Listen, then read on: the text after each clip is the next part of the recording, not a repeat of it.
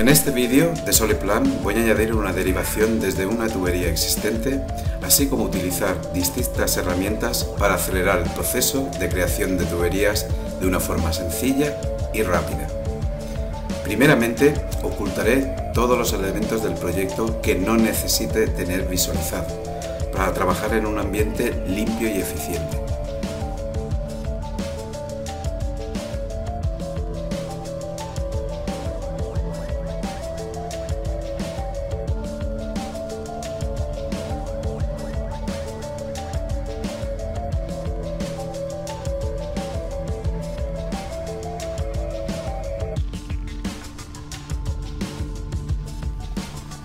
Una vez finalizado, comenzaré a hacer la derivación y puedes observar que simplemente haciendo un croquis desde la tubería existente de la nueva ruta es suficiente para crear el nuevo ramal.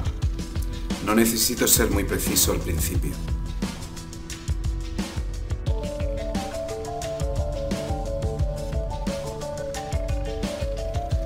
Puedo utilizar la funcionalidad Elevation Move Pipe para determinar fácilmente la distancia entre dos tuberías o bien entre una tubería y una referencia seleccionada, como puede ser una superficie.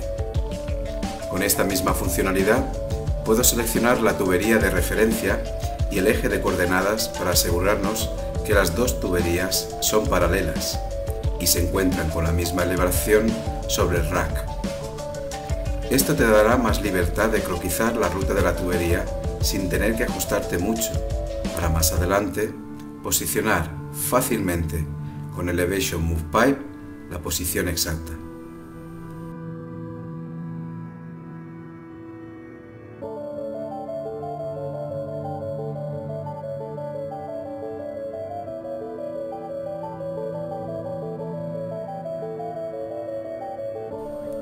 Ahora haré la ruta con ángulo y para ello deshabilitaré Disable Routing Mode con el fin de hacer la ruta libremente sin tener que seleccionar los componentes.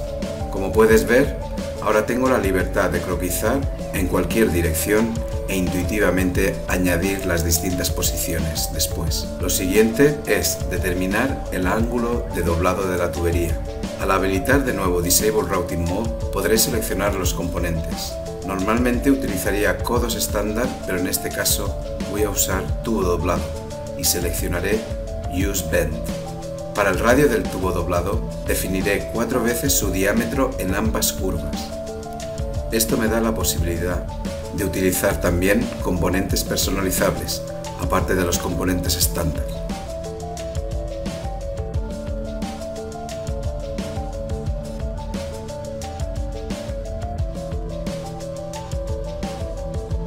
Vuelvo a utilizar Elevation Move Pipe para definir la distancia entre la tubería y su correspondiente derivación.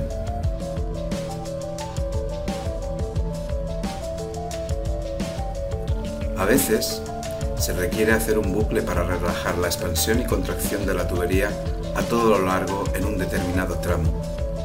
Con la funcionalidad Jog Route simplemente genero un bucle preliminar para después acotarlo con su correspondiente medida de una forma sencilla.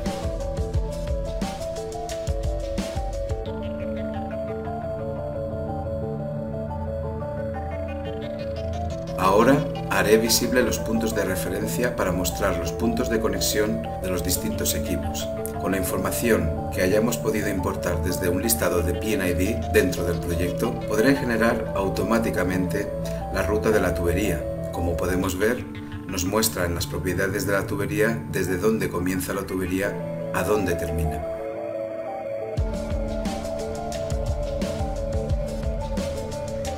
Desde el cuadro Smart Route Interface podemos cambiar la conexión y generar nuevas rutas. O bien desde dos puntos determinados generar hasta ocho distintas rutas alternativas.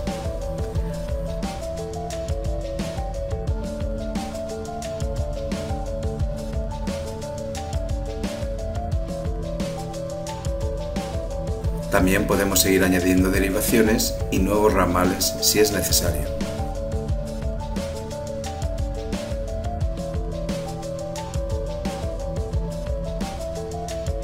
Una vez confirmada la ruta, la tubería tiene asignada dos válvulas, las cuales podemos posicionar donde creamos conveniente con solo arrastrar y soltar a la posición deseada, minimizando los posibles errores que un usuario puede cometer.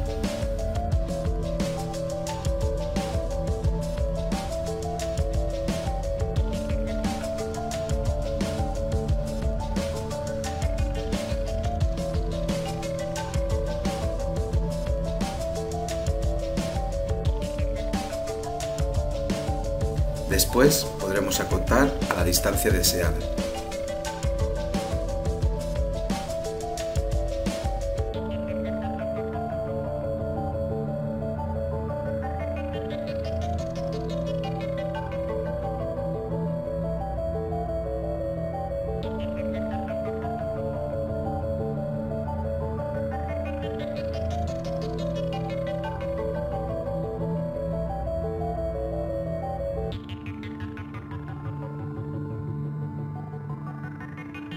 Por último, podemos añadir un soporte desde la librería disponible de SolidPlan y arrastrar y soltar a la posición deseada.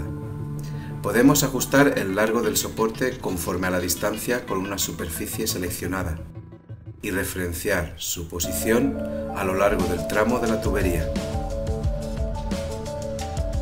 Finalmente, podemos generar los planos isométricos de tubería con un solo clic de cada una de las tuberías o de tramos seleccionados, ya que SolidPlan viene integrado con Isogen de Alias.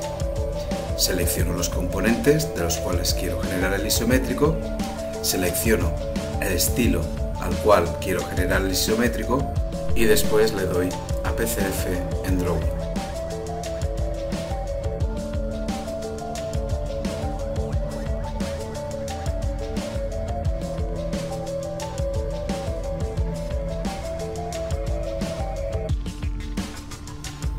Una vez terminado, vuelvo a visualizar todos los elementos de la planta del ciclo combinado.